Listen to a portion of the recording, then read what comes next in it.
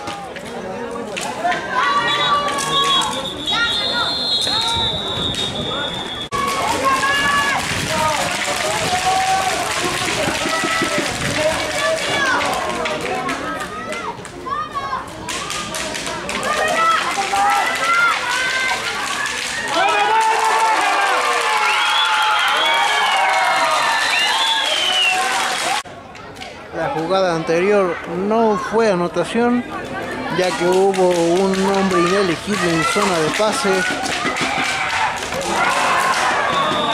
Pase incompleto.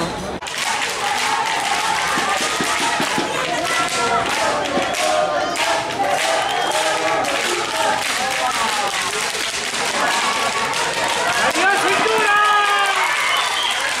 ¡Eso, hijo!